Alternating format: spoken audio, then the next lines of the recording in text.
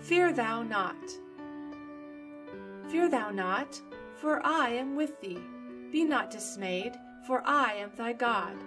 I will strengthen thee, yea, I will help thee, yea, I will uphold thee with the right hand of my righteousness. Isaiah 41:10. Today's focus verse is long, but is a very comforting scripture when we are in a hard place. One time our family was moving from one state to another. My husband and I would drive the truck while our son and his cousin drove the car. We would change vehicles periodically. Sometimes our car had a bad habit of stopping and not wanting to start. It did that soon after we began on our journey, but it eventually started again. I told my husband and the boys that the Lord had given me the above promise before we left on the trip.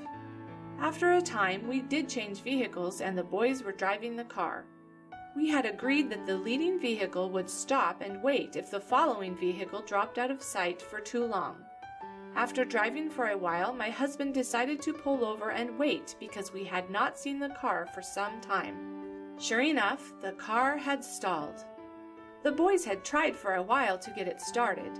Then our son reminded his cousin about the promise the Lord had given me, and they prayed. The Lord answered prayer, and soon after, the car started.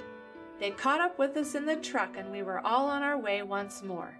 We arrived safely at our destination the next day. One day after we moved, my husband flew to the Midwest to visit one of our churches, and he asked a mechanic about the car's problem. Amazingly enough, that man correctly diagnosed the problem. He said the car needed a tiny filter.